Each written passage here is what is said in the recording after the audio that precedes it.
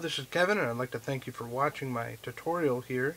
Today we're working with Celtx script writing software and this video is going to be a more in-depth look at the Sketchpad portion that Celtx offers.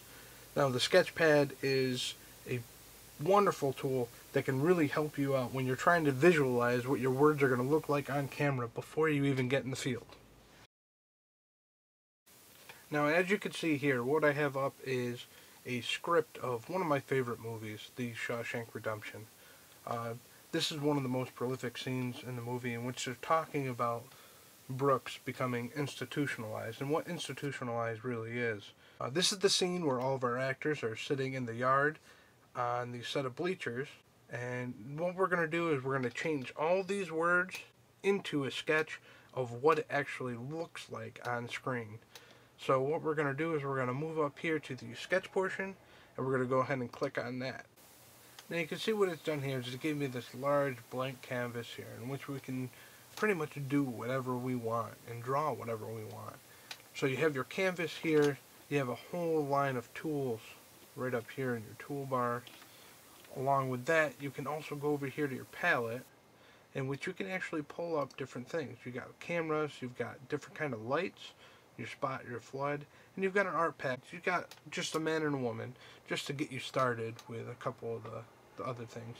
Now, if you actually want to expand on that, you can actually get more things within Celtx, whether it be chairs, tables, bushes, what have you. Right now, what I'm going to do is I'm going to use all my basic stuff, and I'm going to go up here, I'm going to click on this square tool up here, and what this is going to allow me to do is going to allow me to draw anything I want. So right now I'm just going to draw out five long rectangles right here. Okay, now we have our five long rectangles here, and what these are going to signify is this is going to be our bleacher set. Okay, now what we're going to do is I'm going to go over here and we're going to click on the arrow key, and we're going to go over to our art pack, and we'll click on the man you can see it comes up with drag and drop object on sketch. So what we're going to do is we need eight of these. Okay, as you can see it drops a man here. And what you can do is you can make it bigger, smaller, whatever you need to do. And if you grab this little purple point, you can turn the man whichever way you want him to go. So we're going to put him right here on that set. Throw up another guy here. Alright, now to save a little bit of time, I created this beforehand so that you didn't have to sit here and watch me put down all eight characters. Now, as I said before, I was going to put down eight people, but actually I was going to need nine. The ninth man is going to be right here, and this is actually Heywood. But this is also Heywood. Uh, there's a scene in which Heywood actually spins around. He starts off facing the camera away from all the rest of the convicts, and then he turns and faces the convicts. So what I'm going to do to signify that is we're going to go up, we're going to click on the camera, and we're going to drop the camera down. We'll turn it around so it's facing Heywood straight on. And now we have a camera facing on Heywood.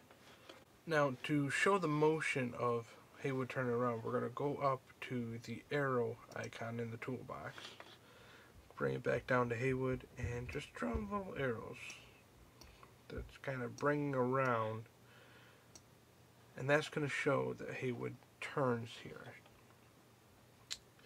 Now to show you where the camera is actually pointing and who is actually going to be in the shot, we're going to go back up here to our line tool. We'll go to the lens of the camera. We'll click and drag and release click, drag, release. And that's going to be your shot for Heywood. Now, as you can see here, this is going to be our final version after we add in all the cameras with the angles and so forth. Uh, as you can see, we have the camera down here getting Heywood straight on and from the back. Well, at the same time, we're also going to get everyone in the scene in this shot. We also have the shot of Ernie with Jigger in the background. We have the shot of Heywood from the front facing out.